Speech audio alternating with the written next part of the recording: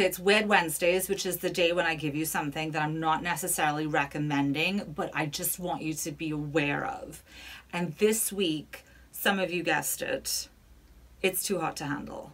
This retreat is full of the sexiest people in the world.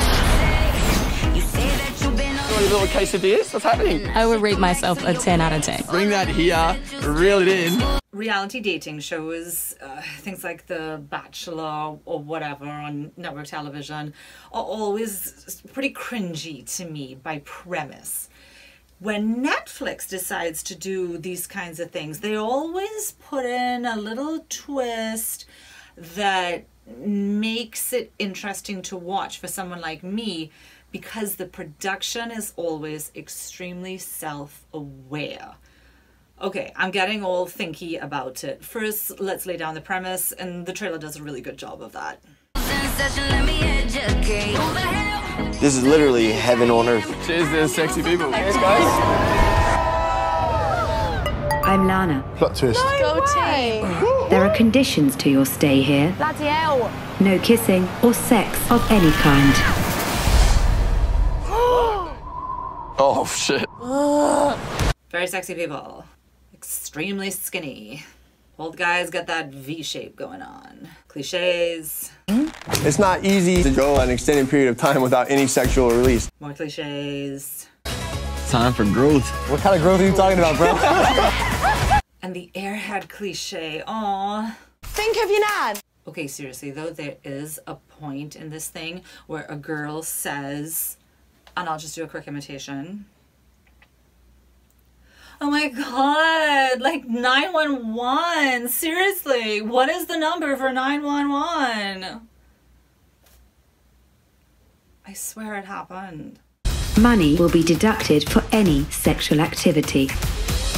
All we want to do is rip each other's clothes off. I don't believe the premise at all. This retreat is to help you gain deeper emotional connections. Is blue balls a real thing? We'll find out. Like, oh, please, whatever. But the reason the show is fun to watch is because of one, the narration. It is fantastic. It is so punchy, well written, and they're making fun of the people, yes, but I don't feel they ever push it too far.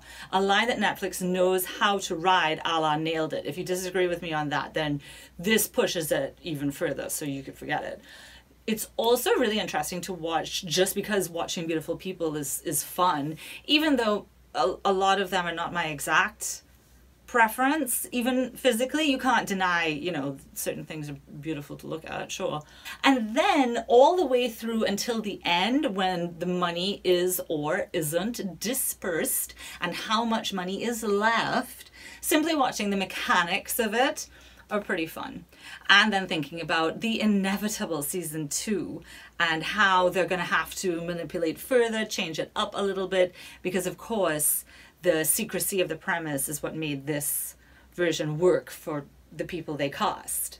So, will there be a season two? Is anybody interested? Was this worth to watch?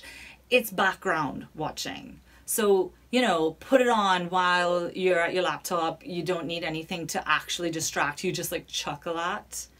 This is perfect for that. Unless there are children anywhere nearby, yeah? Cause like, nah.